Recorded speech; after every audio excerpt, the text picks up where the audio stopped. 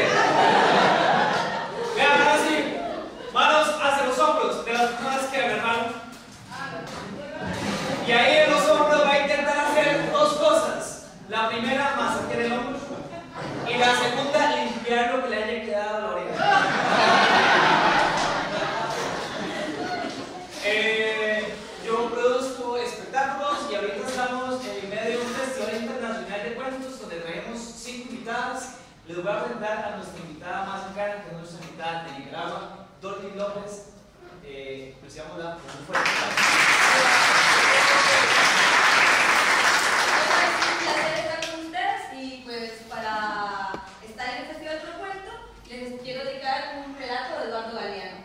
Los enanos de la selva emboscaron a Yuenanagoshka y le cortaron la cabeza.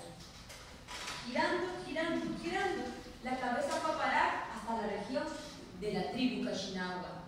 Y aunque la cabeza había aprendido a bailar y a balancearse con gran gracia, nadie, nadie quería una cabeza sin cuerpo. Madre, hermanos míos, ¿por qué me hacen esto?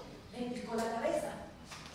De inmediato del cielo bajó una cuerda de siete colores. La cabeza, a como pudo, trenzó con sus dientes y subió al cielo. Antes de, de llegar allá arriba, dijo: Recuerden, cuando esté allá arriba, digan: Allá está el imponente y hermoso Yuenanagoshka y se perdió. Esa noche, por primera vez, entre las estrellas, apareció un gran tajo blanco. Era enorme, brillante, hermoso. Una muchacha de la tribu Cachinagua dijo, miren, miren, ¿qué es eso?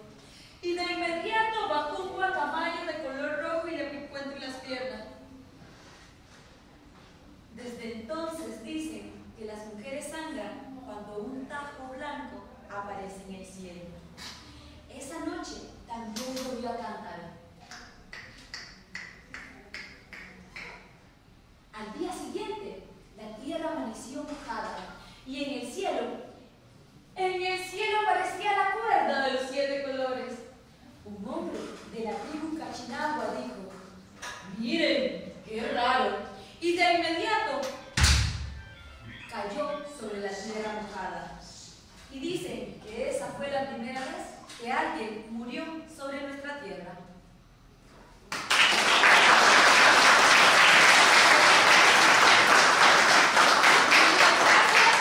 Esto es parte del festival, Festival Pro Cuento que dirige Michael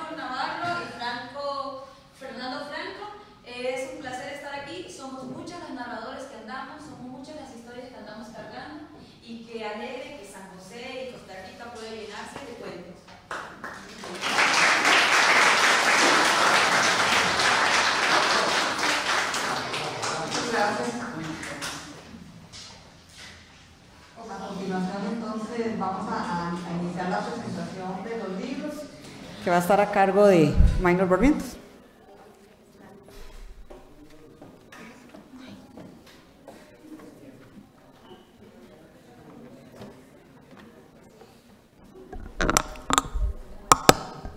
Bueno, muchas gracias a todos. Eh, tenemos un poquito tiempo, estamos grabando la actividad también.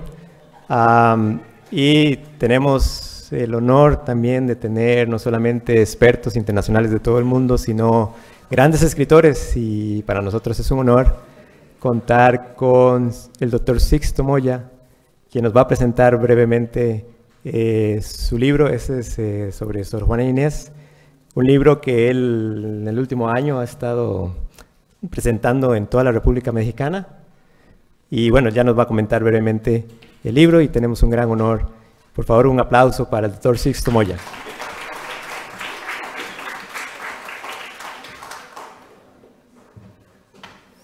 Sí, buenas tardes. Efectivamente, este libro pues habla de un personaje que es una leyenda, Sor Juana Inés de la Cruz aparece en los, billetes de 200 pesos en México, entonces ya eso es parte de la cultura popular. Ha trascendido como una gran poeta y a mí me tocó un poco rehacer ese, esa leyenda eh, a partir de datos históricos y de contextualizar el momento en que se está dando su producción y antes de llegar al convento. Entonces, eh, empiezo diciendo en la introducción del libro, Juana Inés de Asbaje y Ramírez irrumpe en el siglo XVII con una inteligencia extraordinaria, convirtiéndose en una de las figuras literarias más emblemáticas de la lengua española de todos los tiempos. Su obra la sustenta y la historia, todo lo que se ha analizado de ella, igualmente redunda en la visión que se tiene de su papel en la literatura. Luego, todos los que la examinan dicen que sí, que es genial, que es única. De hecho, hay un, poema, que es el único poema que ella dice que hace por, placer, que tiene 975 versos y es un poema único en la lengua española.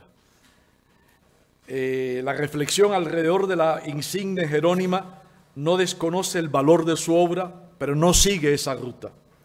Vamos de su vida a sus circunstancias, a ubicarla en medio de las ideas esenciales de su época, según la definición orteguiana de cultura, para comprender y aquilatar la trascendencia de sus acciones en las relaciones de poder a partir de las enormes riquezas que provee la Nueva España. Mis conclusiones de este personaje, que difiere de lo que se ha dicho, que no estoy en contra de lo que se ha dicho, nada más que estoy viendo un ángulo antes de ser Sor Juana. Y digo, sostengo, y, en mi tesis, en el libro está reflejado, que eh, Sor Juana es a Juana Inés lo que el Quijote a Cervantes. Sor Juana es un diseño de Juana Inés. Sor Juana es lo que ella busca eh, para teatraliza su, su papel en la historia, teatraliza su papel en la corte y llega al convento con un diseño de apoderarse, no de hacer verso, no llega a hacer verso, llega al convento a ser la contadora del convento y a manejar el dinero del convento, una mujer ambiciosa. Entonces digo, Juana Inés de Asbaje Ramírez tiene plena conciencia de la influencia que ejerce su inteligencia en la cúspide del poder virreinal. Identifica de manera cabal la superioridad que le otorga formar parte de una élite criolla, una élite de información. el criollo está en ese momento gestándose frente a una, eh, a una eh, digamos, relación con, el, con los reyes, con el, con el reino, con la corte de los Habsburgo, donde el diseño de la Nueva España, a, semejanza de lo que pasó en el imperio eh, romano, eh, la Nueva España era una provincia de España. No era territorio todavía, territorio mexicano como tal. Otro, otro elemento, es aliada, ella de siempre, de una corte virreinal aristocrática que enfrenta el dogma religioso promovido por una iglesia católica en fase de expansión de sus riquezas terrenales, que se apoderó de mucho territorio en toda la Nueva España, y los jesuitas se convirtieron en una fuerza económica poderosa, pero ella sabe que ella debe rendirle, eh, digamos, eh, tributo a eh, la corte, aunque está en el convento. Ella se mantiene fiel a su vínculo con la corte virreinal. Y asume también que el debate entre católicos y protestantes tiene un trasfondo de debate económico. Y ella toma una posición muy clara y parece ser que no le ajena la visión de los protestantes, la ética protestante, del afán por tener dinero y mantenerse vinculada al dinero dentro del convento. Y su obra es más bien profana, no es una obra, una obra religiosa, es una obra donde ella expresa todos sus sentimientos como mujer, a pesar de estar dentro de. Entonces, llega al convento, entra pobre y sale rica, sale con dinero. Había hecho votos de pobreza.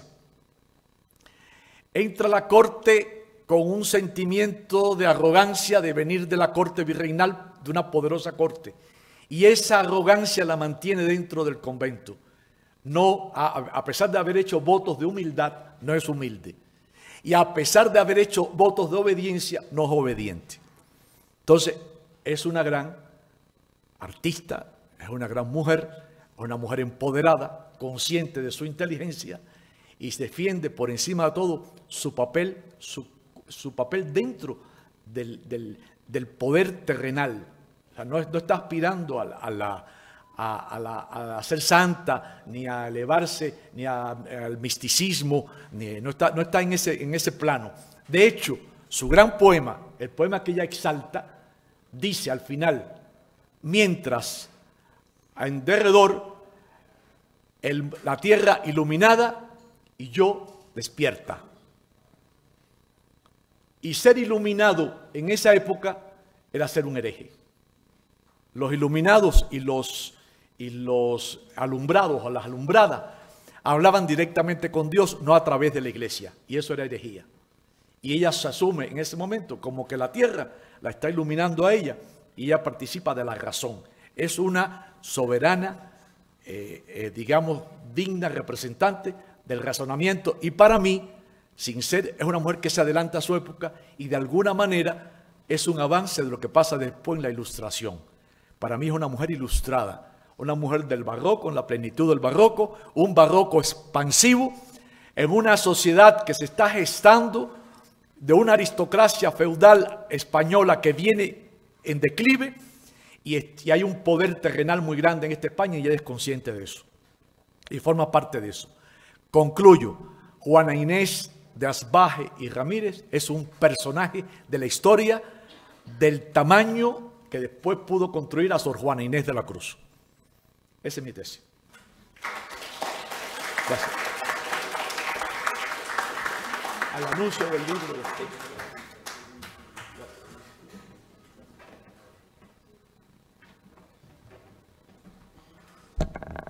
Bueno, tuvimos la fortuna, Betty y yo, de ver el borrador en Cuba eh, hace un año.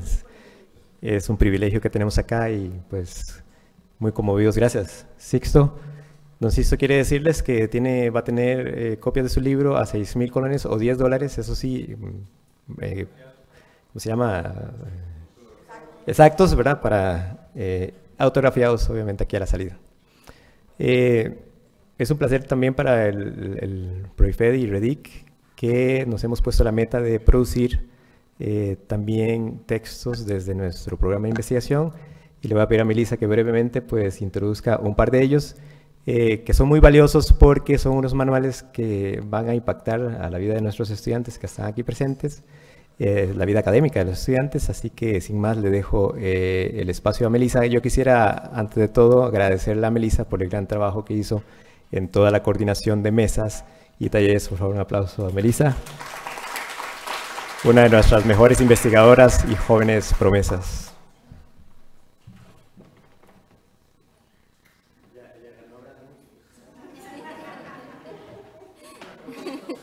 Sí. Eh, Bueno, la autora de estos libritos eh, es Melissa Guzzi. Algunos de aquí ya la conocieron porque ellos nos bueno, ella nos atendió allá en la UCR. Y quiero empezar con un mensaje que ella me manda para que les lea a ustedes. El tópico de la memoria humana para nada superficial, no solo de un interés creciente para la psicología, la antropología, las neurociencias y las ciencias cognitivas, sino que también en los últimos años viene siendo tema central de la educación, la pedagogía y la didáctica. En el contexto universitario no podíamos concebir la construcción de saberes sin la memoria y de allí la necesidad de hacer una traducción de las teorías existentes en herramientas didácticas. En nuestro caso, me tocó convertir en cuatro materiales formativos años de investigación que en memoria humana, en memoria humana hechas en el PROIFED. Esta traducción en un lenguaje sencillo y en un formato amigable solo es posible gracias al apoyo de Luis Ángel Piedra y Melissa Mora. Hemos creado un puente entre la ciencia fundamentada y experimental con la educación y la pedagogía, estos cuatro libritos son un recurso para las escuelas y facultades de la UNED para que se repiensen y reflexionen sobre cómo formar profesionales que construyan soluciones a problemas diversos desde la función prospectiva de la memoria. Eh, bueno, como ella menciona, eh, esos, esos cuatro libritos que tenemos ahí, eh, que los tenemos digitales, no, no se puede proyectar. Este, eh, son resultado de, un proceso de investigación que Mario, Johnny, Luis y, yo, bueno, y otros compañeros eh, hemos trabajado por bastante tiempo. Eh, se ve un proyecto, o sea, se ve un resultado sencillo, pero en realidad es de un trabajo y de un nivel de profundización de sobre el estudio de la memoria que nosotros hemos llevado a cabo eh, desde el 2009, una cosa así. Este, eh, en ellos eh, la idea es que se trabaje con docentes y estudiantes de, nuestra universidad, pero que por supuesto pueden ser aplicados por otras personas, ¿verdad? En otros países, en otras universidades que así lo, lo dispongan. Este, es una colección de cuatro libritos, dos están orientados hacia los estudiantes y los otros dos hacia los profesores. En este momento Luis está haciendo un manual como para que la persona que quiera hacer los talleres con esos libros, este, pues en cualquier lugar pueda realizarlos, ¿verdad? Y este, ellos tienen eh, una parte teórica, y tienen una parte práctica donde se resuelven problemas y demás. Tenemos la versión digital, ¿verdad? Que es la que, que nosotros podemos dar este, para, eh, ¿verdad? Por pedido de ustedes.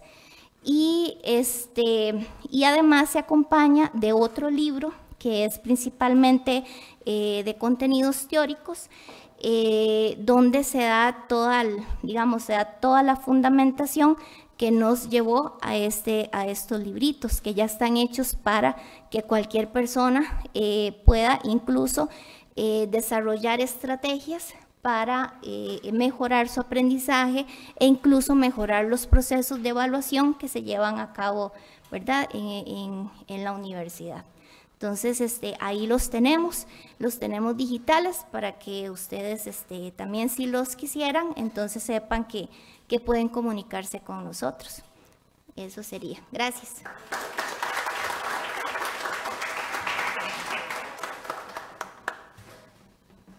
Muchas gracias, Melissa. Y así también eh, intentamos tener una línea gráfica para todos los libros de colaboración internacional. Ya pudimos tener uno con la Universidad de Guadalajara y viene uno también pronto. Víctor siempre me pregunta todos los días, ¿cuándo sale el libro? Ya, ya pronto sale. Eh, me gustaría darle la bienvenida de nuevo al doctor Norm Bohan, nuestro nuevo amigo y experto internacional de gran trayectoria y gran experiencia, que nos va a hablar un poquito de sus dos libros que tienen. Thank you, Norm, and the stage is yours.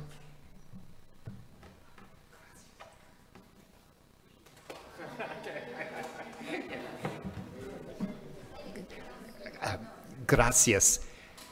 I'll just speak really slowly again. Um, there's a couple of my books here, and if you're interested in more information, I'm going to do a workshop at two. Just a little bit of a history of the book, because I, I can understand just poco, just a little bit of Spanish.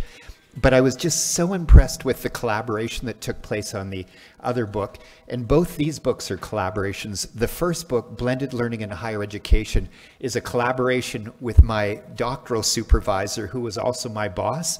Some of you may be familiar with Randy Garrison. He developed the community of inquiry framework that's used quite widely in distance education. And this was a really fun book for us because it was a case study over three years of what was taking place at one university in terms of the policy, the frameworks, the support you need for both for teachers and for students in order to implement a blended learning approach. So that's the first book.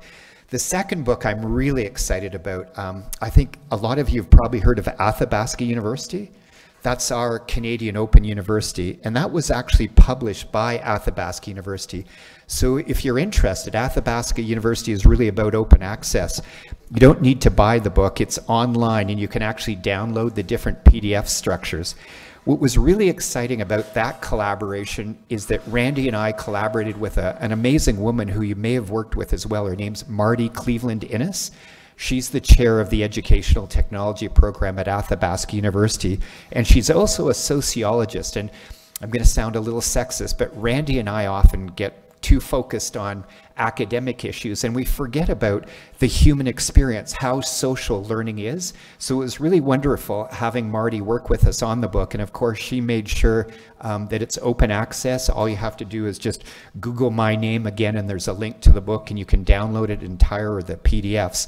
And what's exciting for me is that together we really worked out these different principles and putting them into practice in terms of supporting blended learning, not only on a campus, but sort of the model they're using at Athabasca University. So if you do want to know more about that framework and the model, I think it's two o'clock on the third floor. You can come to my workshop. Thanks so much.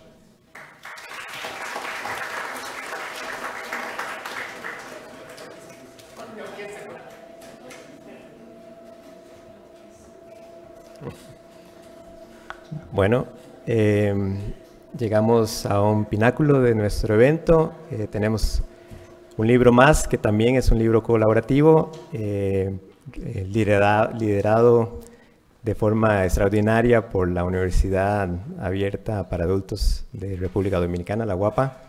Y para mí es un honor este, presentar a nuestra próxima anfitriona y eh, la persona que nos va a presentar este libro, que es un libro colaborativo. Eh, además, una eh, apreciada amiga.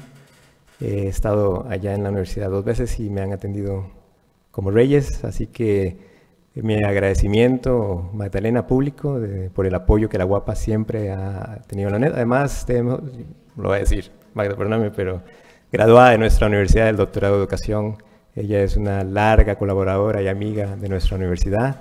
Es un honor para mí presentar a Magda y que nos presente Magda este libro que nos trae hoy.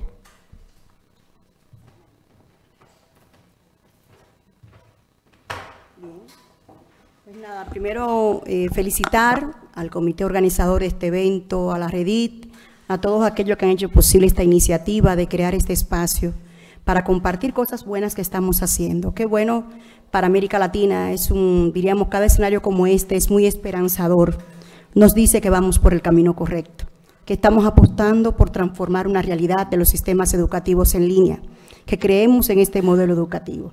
Así que de sobremanera, primero mis felicitaciones a la Redit, a los organizadores, a todo ese equipo que ha estado trabajando laboriosamente para hacernos posible y agradable esta instancia. Quiero compartir con ustedes en el día de hoy, brevemente, por asunto de tiempo, sé que disponemos muy poco espacio, como universidad a distancia, predicamos y decimos lo que hacemos, creemos en lo que hacemos. Por eso en el día de hoy quiero compartir con ustedes el libro web eh, Claves Innovadoras para la Prevención del Abandono en Instituciones de Educación Abierta a Distancia. Esto pues surge de la iniciativa de un grupo de colaboradores, investigadores de universidades hermanas que ofrecemos educación en línea y que entendíamos la necesidad de atender un problema tan relevante para nuestras instituciones a distancia como es el tema del abandono. Eh, siempre a veces en estos escenarios compartíamos en los pasillos, ¿no? De manera muy informal y decíamos, pero vamos a, vamos a empoderarnos, vamos a hacer algo para sistematizar lo que estamos haciendo cada universidad como buena práctica para entender el abandono. Como ustedes saben, el abandono en el contexto de la educación a distancia, lógicamente, es mucho mayor que la educación presencial. El hecho de que en los países de América Latina tengamos más de un 60% promedio, ¿no? En algunas, otros un 50% promedio de deserción en nuestros programas a distancia, nos llevó a la motivación a un grupo de investigadores que eh, teníamos la necesidad de sistematizar, investigar un poco sobre este proceso.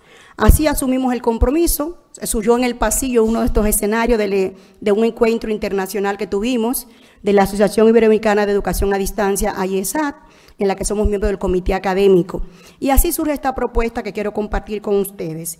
Este libro de claves innovadoras, lógicamente, trae la, el interés de poner, diríamos, a conocimiento de los lectores, de los gestores de instituciones a distancia, un poco lo que hacemos cada una de estas instituciones por apostar y contribuir al tema de eh, reducir el abandono en nuestras instituciones. Seis países de América Latina, República Dominicana, Brasil, México, Costa Rica, Argentina y Colombia. Dos europeos, España y Portugal, así como Turquía, puente entre Europa y Asia. Estas instituciones, tres de estas instituciones se encuentran entre las universidades con mayor número de estudiantes del mundo. La Anadolu, en Turquía, tercera del mundo, con dos millones de estudiantes a distancia. La UNAM de México, que muchos de ustedes le conocen, con 300 mil alumnos. Y la UNED de España, con 250 mil alumnos, así como otras universidades de Latinoamérica que entendíamos como la UNED de Costa Rica, eh, el CD de Brasil, la UAPA de República Dominicana y lógicamente de Colombia también tuvimos la oportunidad de que cada una de nuestras instituciones tomáramos unos indicadores, analizáramos a lo interno de nuestras instituciones qué estábamos haciendo para intervenir y el tema del abandono. Así surge entonces esta iniciativa de esta propuesta de investigación que quiero compartir con ustedes en el día de hoy. Eh, estamos nosotros que hay buenas prácticas para replicar, para compartir, eh, pero hay otra realidad que indiscutiblemente las tecnologías cada vez se incorporan más a nuestro modelo educativo. No son un fin, son un medio. Pero esto nos reta de manera permanente a los gestores de educación a distancia para entender que tenemos que buscar estar a distancia sin distancia, sentir más cerca al alumno y que nos sienta más cerca de, de ellos, de su proceso de formación, sentirnos más cercanos y eso implica lógicamente asumir una postura de crear estrategias a los internos de nuestras instituciones para crear un apoyo permanente al alumno. O sea, cómo atender a ese alumno que está distante, que necesita de comunicarse efectivamente con el docente, que necesita comunicarse efectivamente con su compañero también para producir un trabajo colaborativo. ¿Cómo saber este alumno que llega a nuestras universidades que no tiene competencias tecnológicas y qué tendríamos que estar haciendo nosotros para apoyar a este alumno o que no tiene habilidades de planificación como estudiante a nivel organizativo, por decir, o que tiene ciertas deficiencias emocionales, que no sabe trabajar solo, que no sabe manejar el estrés? O cómo todos esos indicadores de una u otra forma están diríamos, incidiendo de manera directa para que el primer año, que es el parámetro donde consideramos el abandono como concepto en esta propuesta investigativa, porque esto es un tema polémico, para algunos dicen, pero para lo que es abandono para ti no es abandono para mí. Tuvimos un parámetro que definir nosotros como investigadoras y era definir que el concepto del abandono lo íbamos a subir a partir del primer año, sobre todo que es el, es el periodo donde sabemos nosotros que los alumnos se matriculan y que no concluyen y que muchas veces ni siquiera accesan nunca al curso. Entonces, eh, bajo esos parámetros hicimos esta propuesta de esta investigación que compartimos con ustedes en la tarde de hoy. Estamos conscientes que no es la solución, no es la panacea al tema del abandono y la educación a distancia, pero sí nos da la oportunidad de poder ver las estrategias que estamos interviniendo para apoyar emocionalmente, para apoyar desde el punto de vista académico, con orientaciones académicas, con servicios de apoyo de atención virtual, con planes de acogida de manera virtual para el alumno que se sienta desde que llega, ¿no? Que pertenece a una comunidad de aprendizaje y por lo tanto lo que estamos ahí es tratando de orientar un poco en esos lineamientos. Así que en esta parte, rápidamente para presentar un poco la web del libro, eh, los que deseen, tenemos una pequeña introducción con cada una de las autoras. Por asunto de tiempo no voy a, solamente voy a poner un pequeño corte para que podamos ver las imágenes de algunos de los autores. Esto no es exclusivo de, la UAPA, ¿no? La UAPA hizo el proyecto, hizo la propuesta, involucró a estas universidades y lógicamente, pero todo un equipo detrás estuvo de este proyecto.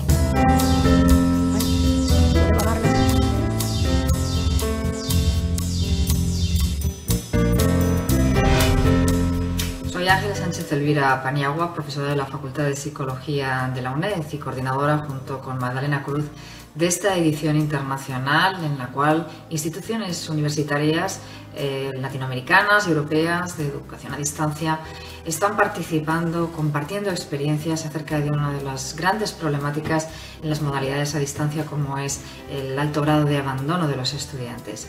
En esta edición queremos compartir, por tanto, Sí, le dije que por asunto de tiempo no voy a poder poner el texto completo porque son muchos los autores. Lo que quiero es un poquito rápido explicar la dinámica de la web para que vean dónde están las informaciones, la estructura del contenido que pueden buscar electrónico.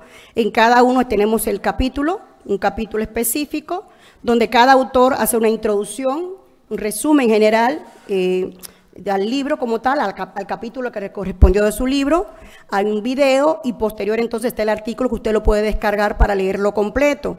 Así cada una de la estructura de los libros. ¿Qué novedad tenemos aquí? Que el libro tiene artículos en tres idiomas. Están en español, hay artículos en español, hay artículos en portugués y hay artículos también en, inglés. Un poco también para ver la diversidad, también de entender los contextos y responder a que por lo menos los lectores tengan tres posibilidades, ¿no? De, que, de poder leer y aprovechar al máximo este contenido. De igual forma, pues así van a ser con cada uno de los capítulos. Usted puede ir viendo capítulo por capítulo y va señalando lo mismo. Vamos a tener allí eh, cada uno de los autores. En particular, quiero mostrar por decir, no sé si está aquí el de la UNED, quería mostrar el de la UNED. Este es el, de Anadolu, quizá poner un poquito en inglés para los que nos están acompañando en idioma inglés.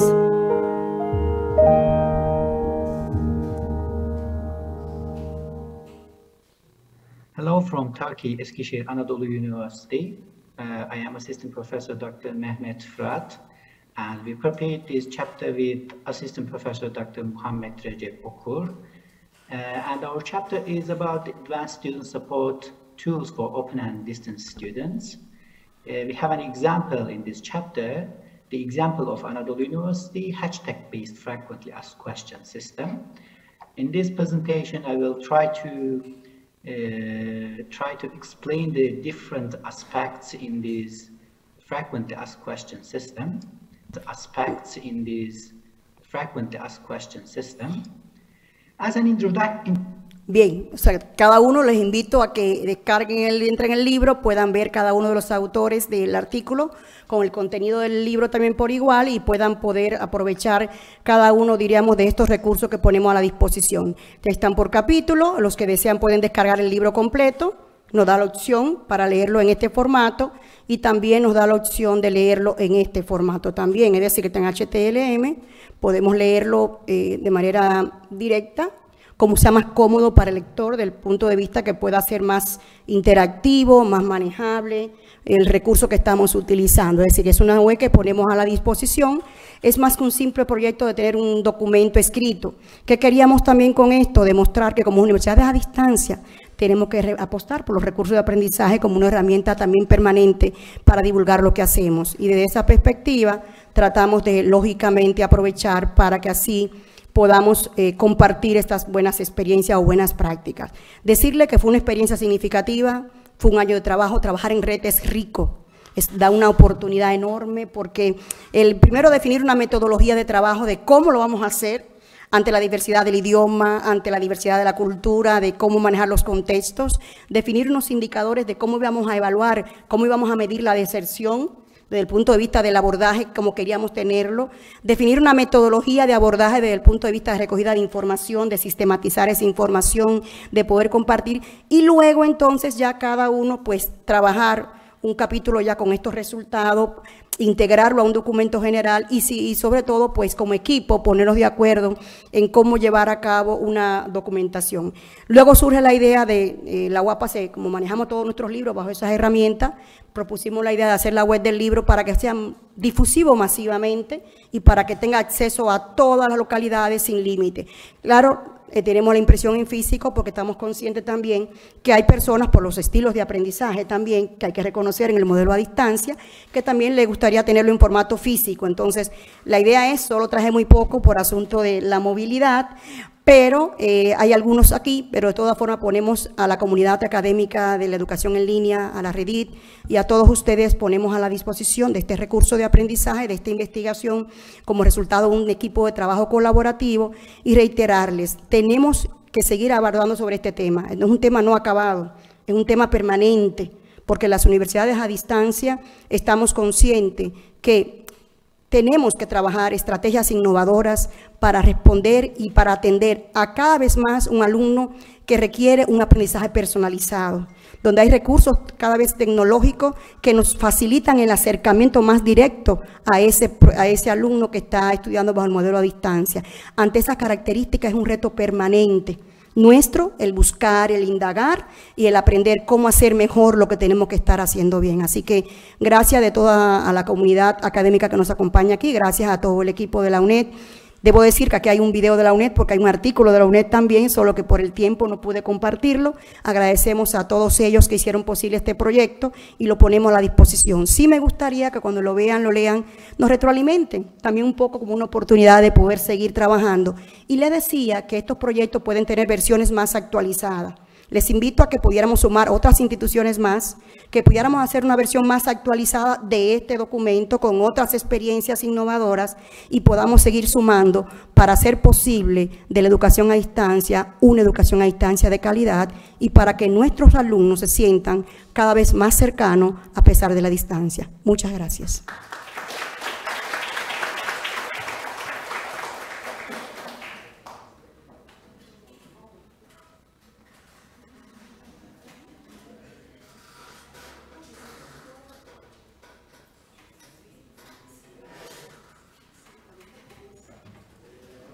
Bueno, eh, decía un día que con Tatiana que este, las estrellas se van juntando siempre y pues justo a tiempo recibimos la visita del, del señor Rodrigo, del máster Rodrigo Arias Camacho, rector de nuestra universidad, que eh, por motivos de su apretada agenda no había podido estar en la inauguración y nos prometió que hoy en algún momento iba a llegar por acá y acaba de llegar. Entonces, creo que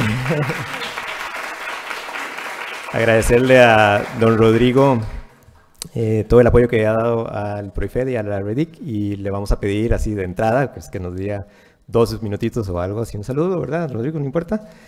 Y este, decirle, eh, ya le dije a Rodrigo que todo el mundo lo quiere conocer, así que no sé cómo se lo van a dividir ahora, pero don Rodrigo, le cedo el micrófono. Muchas gracias. muchas gracias. Buenas tardes. Un gusto poder compartir, aunque sea un rato, con ustedes. En primer lugar, reconocer el trabajo en red que se realiza, fundamental para el desarrollo de la educación a distancia, sobre todo en los tiempos modernos. De igual manera, manifestar la complacencia por un lado y el compromiso por otro desde la Rectoría para apoyar ampliamente la participación de la UNED en esta red, el compromiso de la UNED de compartir también nuestra historia, 42 años hace que se fundó la Universidad Estatal a Distancia en Costa Rica, pionera en educación a distancia en ese momento. Hoy en día, en un contexto muy distinto, donde la educación a distancia tiene su tiempo. Yo he venido manifestando que, vivimos en un tiempo, un tiempo propicio para la educación a distancia, un tiempo como nunca antes se había presentado para materializar los grandes sueños que siempre tuvimos quienes hemos estado involucrados con esta modalidad educativa a lo largo de la historia, de lograr llegar con el conocimiento, con las posibilidades de aprendizaje real y efectivo en cualquier momento y en cualquier lugar. Rompiendo, como decíamos románticamente, rompiendo las barreras del tiempo y del espacio,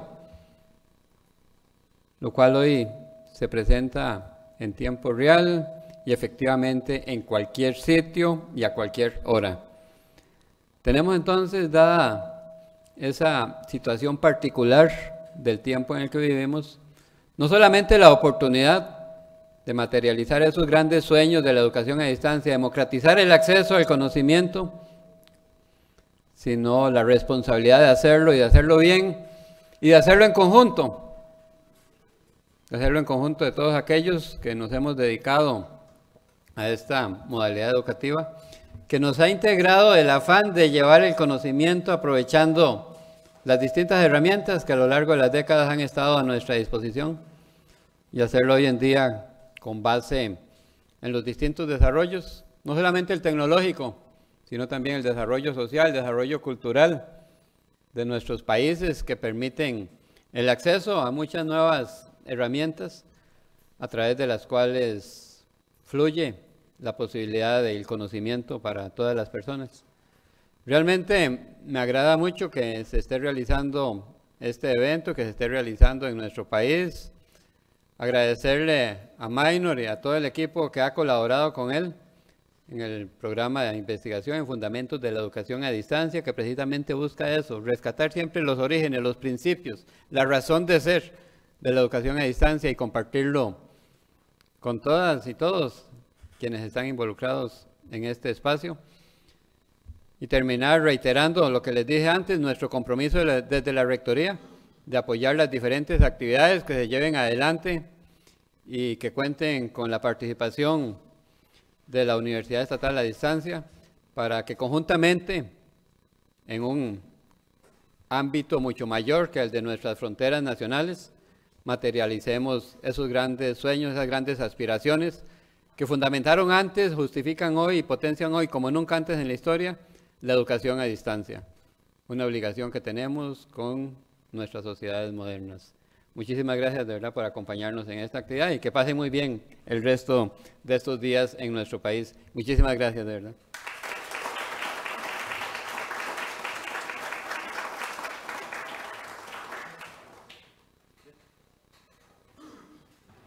Muchas gracias, don Rodrigo, eh, una persona que siempre se ha distinguido por apoyar el trabajo colaborativo eh, en red y un, convencido de la educación a distancia, un gran amante de la educación a distancia y del papel y responsabilidad que tenemos en las sociedades.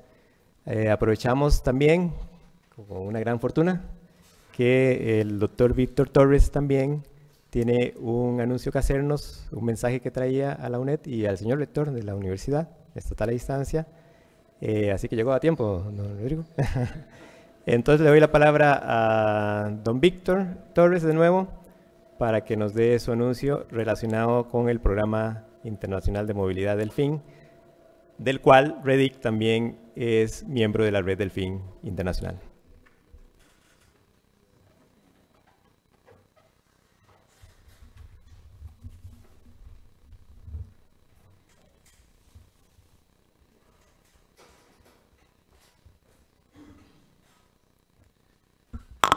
Bien, pues eh, un gusto saludarle, don Rodrigo, rector, eh, y presentarles, aprovechar este espacio para presentar a todos el programa Delfín, para quienes no lo conocen, es un programa que tiene 24 años impulsando la investigación y el desarrollo científico en México y también en otras partes del mundo, ya que tiene un programa de movilidad nacional y otro internacional a cualquier parte del mundo donde un estudiante sea aceptado por un investigador y es becado por las universidades que participan en este programa. Eh, UNED participa hace tres años ya, o cuatro, eh, cuando trajimos esa, esa propuesta y se aceptó que participaran como eh, los coordinadores en Costa Rica de este esfuerzo. Eh, la idea es que se sumen más universidades, es, la propuesta, pero que UNED siga siendo quien tenga la coordinación general en Costa Rica, si ustedes así lo, consideran. Eh, perdón. Este programa eh, nació en 1995 con 17 instituciones de educación superior en México y pues la idea era empezar a mover estudiantes por estas universidades para que se, como investigadores adjuntos con eh, todos los investigadores que recibieran a estos alumnos. Hoy en día, eh, pues vamos a, a ver que tiene un honorable consejo técnico, eh, que son los titulares de las instituciones que, que participan en él y representantes institucionales. Aquí en UNED tenemos a, una representante, Ana Ruth, y en una coordinación general que el maestro Carlos Jiménez, quien es un compañero de la Universidad Autónoma de Nayarit, eh, coordina desde hace más de 20 años, casi desde el surgimiento de este programa, ya a nivel internacional. Tenemos 125 instituciones de 27 estados del país, solo nos faltan 5. Eh, y eh, pues 27 estados, perdón, 75 de Colombia y 3 de Costa Rica. Esos estados que se ven en gris son los que no participan. Por aquí hay unas compañeras de Campeche, invitarlas a que se sumen. ¿sí? Eh, pues esta es una lista, rápidamente la paso, de todas las instituciones que participan en México de, del Delfín, son 125 y se siguen sumando cada año. De hecho, comentarles que parte de la idea de organizar este encuentro se gestó en un encuentro de investigadores del FIN el año pasado por allá en Puerto Vallarta, Jalisco. Bueno, fue más bien en la Riviera Nayarit, a un lado. Todas estas instituciones, es muy larga la lista, se siguen sumando de otros países, miren, sigue la lista. Y eh, pues eh, una vez que estos alumnos hacen siete semanas con un investigador, eh, vuelven y hacen un congreso de 3.500 jóvenes en un hotel ahí mismo en la Riviera Nayarit y presentan los objetivos, perdón, los logros que tuvieron en este evento y eh, pues es un evento muy rico culturalmente. El año pasado fue Colombia el país invitado, fueron más de 300 estudiantes a presentar ahí su cultura, bailables, la ruta del café, etcétera. Nos gustaría que el próximo país invitado fuera Costa Rica. Y bueno, eh, un dato muy interesante es que esta formación de investigadores eh, el 80% se tiene una estadística aproximada que el 80% de estos jóvenes que incursionan en la investigación eh, hacen un posgrado después, quedan enamorados de la investigación. Entonces es un programa el más grande de Latinoamérica de este tipo, el que más mueve estudiantes, muy exitoso y que ha eh, pues redundado en que tengamos eh, estudiantes que que hoy son doctores y que son del sistema de investigadores y son de los mejores docentes que tenemos en muchas universidades en México. Entonces, este, a grosso modo, son los datos. Eh, la última edición del año pasado movió a 6.309 estudiantes este programa, iniciando con 17, ¿verdad? Hace 24 años. Entonces, ha ido creciendo mucho, eh, se siguen sumando. Eh, hay 6.733 investigadores en el catálogo, donde un estudiante puede entrar y por área de conocimiento puede encontrar eh, al investigador y las investigaciones que a él le interesan en su formación y eh, pues enviarle una solicitud de, de, aceptación y si este investigador lo acepta, pues hacer todos sus trámites y pues gestionar su participación. El día de ayer platicaba aquí con unos estudiantes de la UNED que están en esa idea de, asistir al verano. Ojalá sean aceptados y, sean eh, partícipes de este programa. Hay 34 redes de investigación. El año pasado, precisamente ya REDIC, participamos 10 integrantes de REDIC en este encuentro de investigadores y pues ahí este, tuvimos la, la primera reunión para organizar este evento que hoy estamos teniendo. Pues eso era lo que les quería eh, comentar a grosso modo. Tenemos muy poco tiempo, entonces invitarlos a que si hay interés de que sus universidades eh, participen y ustedes como investigadores se sumen a ese catálogo y reciban estudiantes de verano y formen investigadores, eh, pues son bienvenidos todos a, a crecer esta red internacional. Gracias.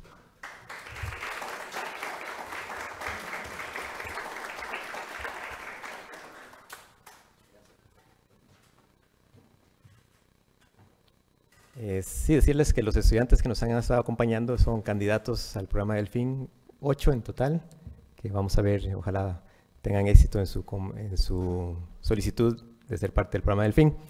Eh, agradecerle también a Rosita, no sé si Rosita Ulate está por ahí. Ella fue la que convenció a Víctor y a Carlos de venir a, eh, creo que en 2015 o 2014, eh, empezamos a ser parte de, por lo menos a, a, atender la idea de que la UNED fuera líder de Costa Rica en el programa del fin. Y por primera vez este año vamos a traer en grupos de investigación del PROIFED entre 10 y 15 estudiantes mexicanos que van a estar por primera vez en la UNED del programa del fin. Bueno, eh, creo que no queda más que empezar un poco el proceso de clausura. Sé que todavía tenemos actividades, tenemos los talleres a las 2.15 de la tarde, un café, eh, y mañana pues su visita a los jardines Lancaster y eh, posiblemente al CEU de Cartago para tener un poco de actividad y que conozcan a nuestros centros universitarios también y un poco de seguir el trabajo de networking que hemos establecido estos días. Creo que para nosotros en el PROIFET eh, y la coordinación general de REDIC en el mundo, pues la coordinación está acá en, en la UNED, este, agradecerles a todos por el esfuerzo grande que hicieron por venir a Costa Rica y por venir de las diferentes universidades de Costa Rica también y a todos los unedianos y unedianas que eh, nos acompañaron, eh, que han creído en el trabajo colaborativo y en RED. Muchas gracias a Onda UNED y a Sebastián, mi profundo agradecimiento por todo el apoyo y la estrita que nos dio también. Eh, también gracias a la Oficina de Mercadeo, que nos han asistido también. Hemos tenido una jornada larga de dos días completos de trabajo. No ha terminado todavía, pero les damos por parte del PROIFET este, este aplauso de todos para ustedes, porque es el trabajo de ustedes el que hace que a partir de mañana ya tengamos una agenda de trabajo para el 2019 y 2020. Agradecerles realmente a todos de corazón. Agradecerle a Tatiana Ramírez de nuevo por el gran trabajo. Agradecerle también a Melissa por también el gran trabajo que hizo también en la organización.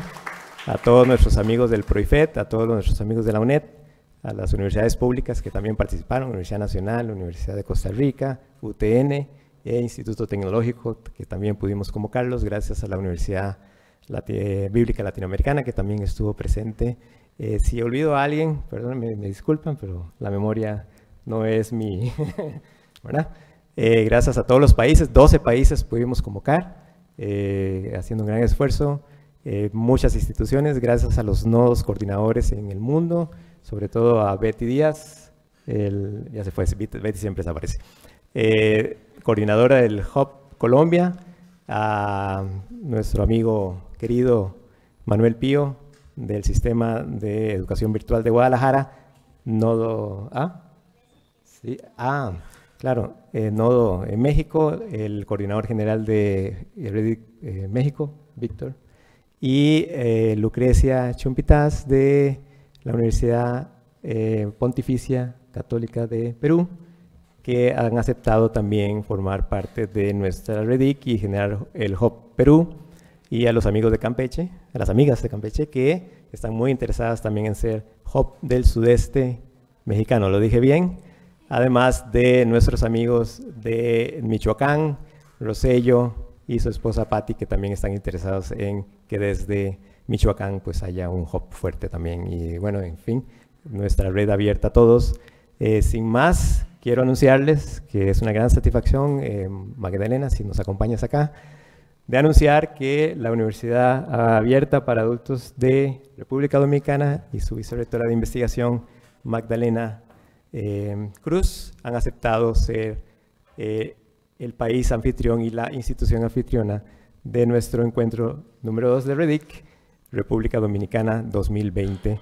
Vamos con ellos a discutir este, la fecha eh, más adecuada, pero por favor un abrazo y reconocimiento y un aplauso a Magdalena por haber aceptado el reto de organizar lo que ya parece ser algo maduro. Y pues te dejo. Bueno, primero eh, agradecer la confianza, lo decía cuando estaba antes de llegar el doctor Rodrigo Arias, que somos de la UNED, somos de Latinoamérica, somos amantes y defensores de la educación a distancia. Creemos, lógicamente, en que en la medida que asumamos compromisos, compromisos concretos, acciones Teorías vemos permanentemente y discutimos. Acciones que realmente impliquen compromiso. Cuando se nos consultó esta posibilidad, lógicamente dijimos, bueno, no podemos decir que no, porque estamos comprometidos con apoyar todas las iniciativas. Nuestro rector, fundador, el doctor Ángel Hernández, y todo el equipo de la UAPA, pues le va a acoger durante esos días. Lógico, competir con la UNED y esta primera organización no será nada fácil, debo decirlo, desde el punto de vista de que estamos conscientes que hay todo un trabajo de equipo. Pero quería, para los que no conocen República Dominicana, que me den un momentito, porque quiero que vean un video para invitarles y se animen a que nos acompañen durante el 2020 en la República Dominicana. Un momentito porque estaba puesto acá, pero parece que lo movieron y solamente voy a tratar de localizar, volverlo a localizar, ¿no? Solo un minutito nada más.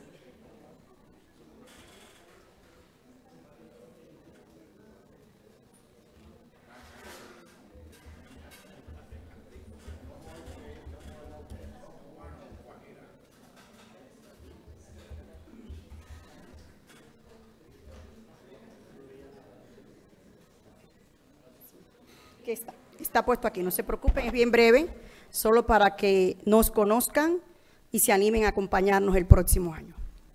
Si lo puede subir, por favor.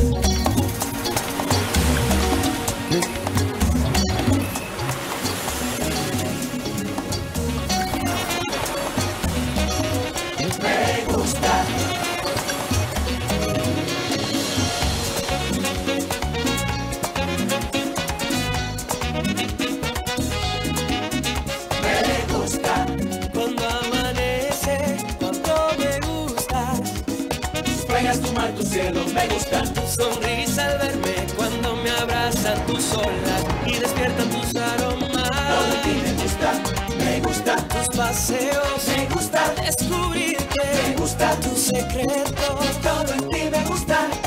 Santo Domingo me gusta. Desafiarte. Y tus campos y tus olas, y en un cielo inmenso la luna. De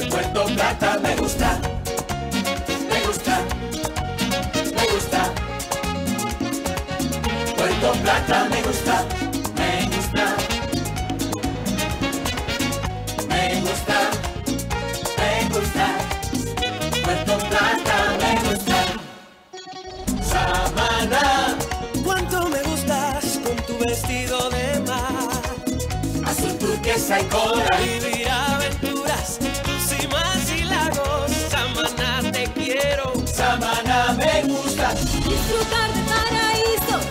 Tus bellezas y tu encanto. Toda tu magia me gusta. Punta Cana tú me gustas. Y caminar por tus Donde la arena es tan blanca. Donde se duerme la luna. Punta Cana a mí me gusta. En sus noches estrelladas. Y me gustan tus colores. El azul verde y el blanco. El dorado de su caña. La romana a mí me gusta. Oh, oh, oh. Me gusta. Oh, oh, oh. Me gusta. Me gusta. La romana a mí me gusta.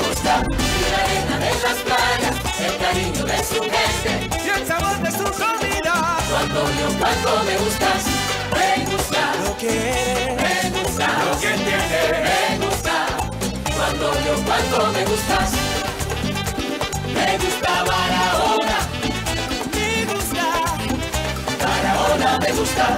Me gusta.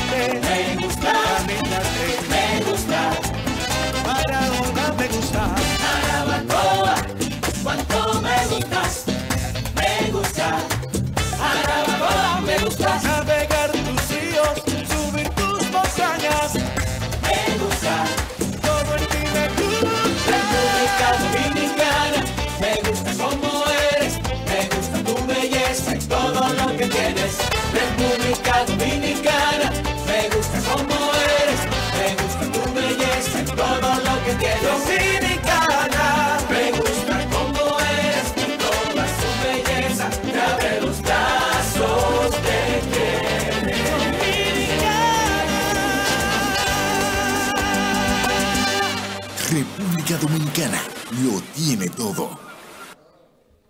Bueno, simplemente un poco para animarles, para invitarles que nos acompañen y reiterándole el compromiso de la Universidad Abierta para Adulto Guapa en poder convertirse el próximo año en sus anfitriones. Gracias por confiar en nosotros y esperamos que disfruten su estancia y que sea, repito, un espacio donde podamos seguir reflexionando y debatiendo y construyendo juntos la agenda de la investigación en la educación a distancia. Muchas gracias.